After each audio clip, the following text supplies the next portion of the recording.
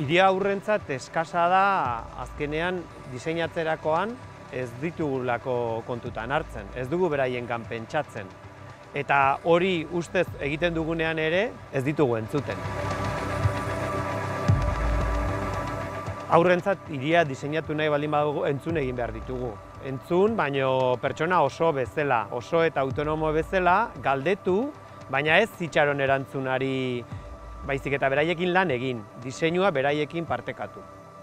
Ordizian adibidez, parke sarea ari gara diseinatzen aurrekin. Parke bakoitzak ezaugarri bereziak dituelako eta beraiekin adosten ari gara nola berritu. Adurrezen arro agirre naiz, arkitektoa, udal arkitektoa ogibidez, baina oraintxe bertan ordiziako alkatea.